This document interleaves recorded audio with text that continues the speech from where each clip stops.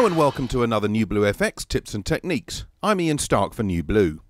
In this tutorial we'll be taking a look at a great new plugin, Selective Color from the Video Essentials 5 collection. What this plugin does is pretty much given away in its name, but just in case you haven't worked it out yet, Selective Color lets you choose up to two colours from your image and then display only those colours in the final picture, whilst everything else remains in shades of grey. You'll have seen this effect in movies like Schindler's List and Sin City and Pleasantville, and the video for Can't Touch This by MC Hammer. There are a number of ways you can achieve this effect using your NLE's built-in effects, but once again, NewBlue has scored by making this a ridiculously easy to use plugin, requiring just a couple of clicks to get fantastic results. Let's start by working our way through a simple example to explain the different controls in the Selective Color plugin. We'll use this clip of a bunch of bananas on display in a grocery store. You can see there are just seven controls in the plugin. The first two let you choose the first colour and then dial in a range of similar colours that will be affected. The second two do the same for a second colour. Here we have the Soften control, and this applies a blur to the colour ranges selected and helps to reduce colour noise and to fill in any gaps.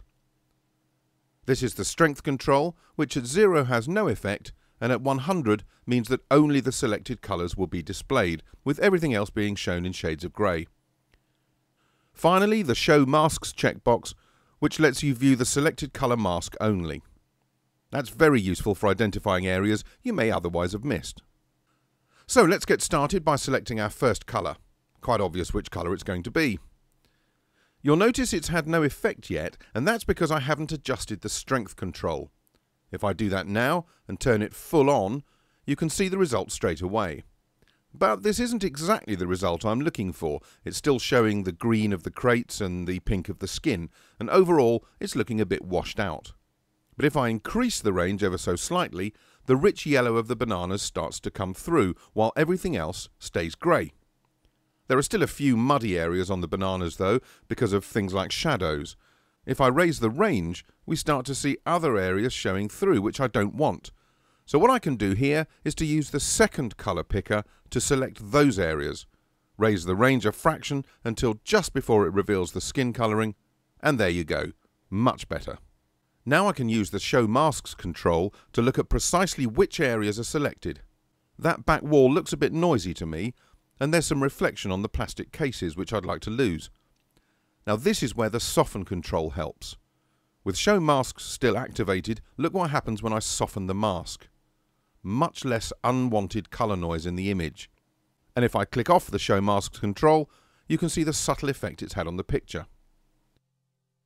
So there you have it. Selective colour from NewBlue's Video Essentials 5 collection. A great way to get effective results quickly and easily. Use it on flower displays, on the beach, anywhere there are distinctive colours you want to highlight. And when you use it in conjunction with other plugins, you can get some really very cool results indeed. For more information about Selective Color or the Video Essentials 5 collection, or to see more tips and techniques tutorials, visit www.newbluefx.com. Thanks for watching and for learning a little bit more about NewBlue Effects. Competitively priced, aesthetically fresh, and ridiculously easy to use.